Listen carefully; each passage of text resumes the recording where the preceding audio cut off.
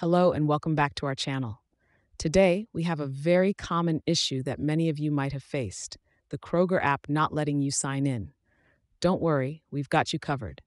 In this video, we'll walk you through some simple steps to fix this problem and get you back to enjoying all the benefits of the Kroger app. Step 1 Check your internet connection. The first thing you want to do is check your internet connection. Make sure you are connected to a stable and strong Wi Fi or cellular network. A poor connection can sometimes prevent the app from signing in properly. Step 2 Update the app. Next, check if your Kroger app is up to date. Outdated versions can sometimes cause login issues.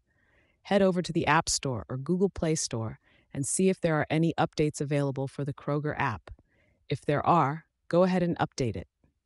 Step 3 Clear app data and cache. If updating the app didn't work, try clearing the app data and cache. This can help resolve any temporary glitches that might be causing the sign in problem. Go to your device's settings, find the Kroger app, and clear its data and cache. Step 4 Reset your password.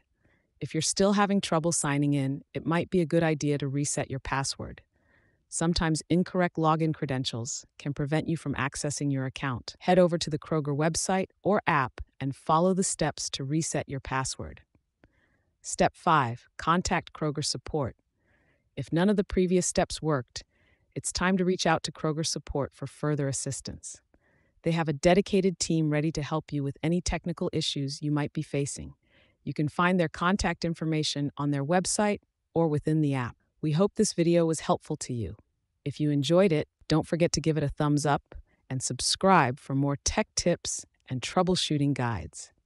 Thank you for watching, and we'll see you in the next video.